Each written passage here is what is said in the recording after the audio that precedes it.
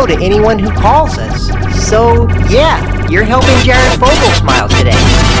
Pretty cool, right? oh, Lord. I'm just fucking with you.